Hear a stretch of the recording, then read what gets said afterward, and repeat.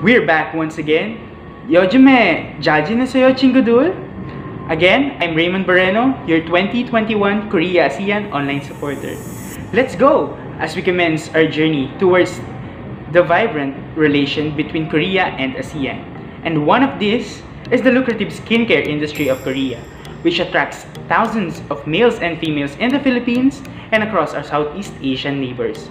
So for today's video, I asked my Korean friends about their skincare routine to achieve that Korea's youthful glow trademark.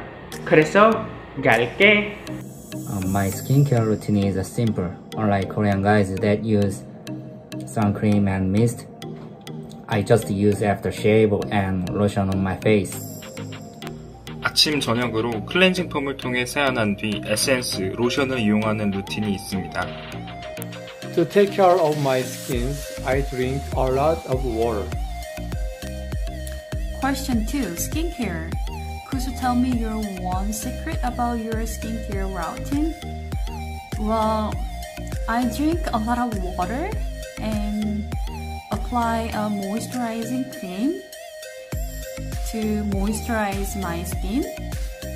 Usually people use it before sleeping, but I use it in the morning when I wash my face. I keeps my skin to be moisturized.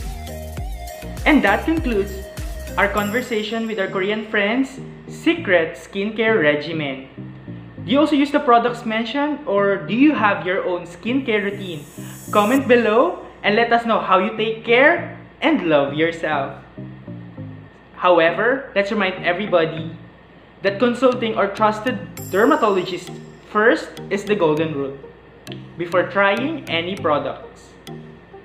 So again, follow me for our next videos with our Chingodul. Once again, this is Raymond Moreno, your 2021 Korea ASEAN online supporter. Daume bayo!